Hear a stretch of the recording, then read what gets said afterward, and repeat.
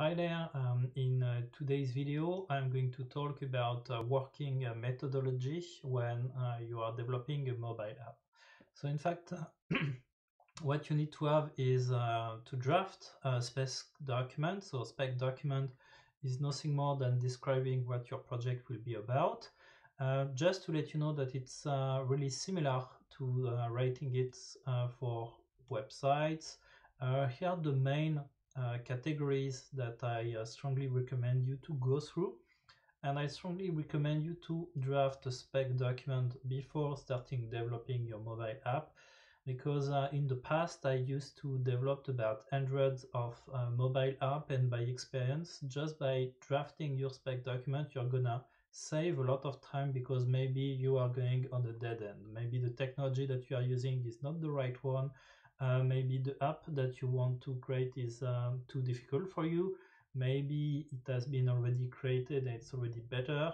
Uh, and many other questions that you need uh, to have the answer before starting your project. This is very useful, so please uh, go for a spec document before starting your project, even if you are very excited about, um, let's say, starting your project, you need to have this spec document anyway. Um, so out of the question that you need to answer, I strongly advise you to answer to the following one, which is uh, who is your client, because it will help you understand a little bit more um, who you are working for and where your app is going to be or how it's going to be used. Um, then uh, ask uh, to your client what are its needs. So for example, in uh, the following case, it's about designing a mobile app in order to know uh, the satisfaction of people within a retail store. Um, then about uh, the audience, so who is going to use uh, your uh, mobile app? Is it going to be techie person or is it going to be uh, people who are not techie at all?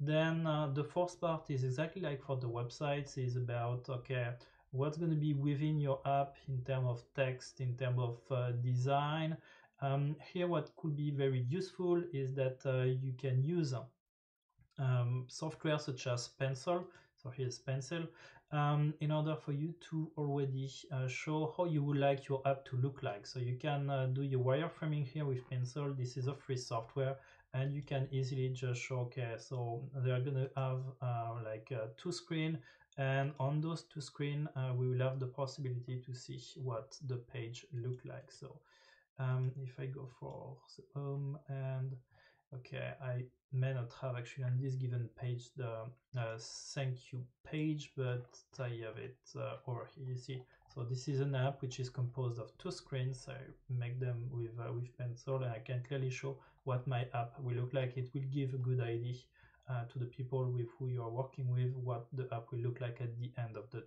Then precise what are the features that you would like uh, to add within your app. In my case, I would like, for example, the data to be collected through database and the one of uh, Matomo Analytics, for example. And then here I'm describing uh, the behavior of the app. For example, after a delay of five seconds, people will have to be uh, redirected to the main screen. Um, then um, precise as well in terms of uh, resources, what you need to have. So for example, here regarding the graphical part, um, clearly saying that, okay, I will need to draft the smiley, so I will need to do a bit of design, but I probably able to do it myself. Uh, regarding the low aspect, in my case, it's just going to be used by people uh, by customer of the, the company so it's not intended in order to go on the play store and things like this. Uh, there's no business model uh, so here it is just about getting the feedback in order to improve the global experience on the retail store. And uh, then question number nine about how the app will be promoted. Just be uh, self promoted. It's not going to go into an app store or a play store or um, the other stores and um, then the part number 10 is about okay who is going to work on this project and what kind of uh, technology you would like uh, to use. So in my case just going to be for fun. So i'm going to use a cms i'm going to use as well hybrid technology. I'm going to do it as well with native android. As you can see i didn't precise here the ios app because i'm not expert enough on ios in order to be able to draft it. But that's the whole thing about a working methodology is just defining but the big points, big categories that you need to have answer from before starting to design your mobile app. Thanks for watching.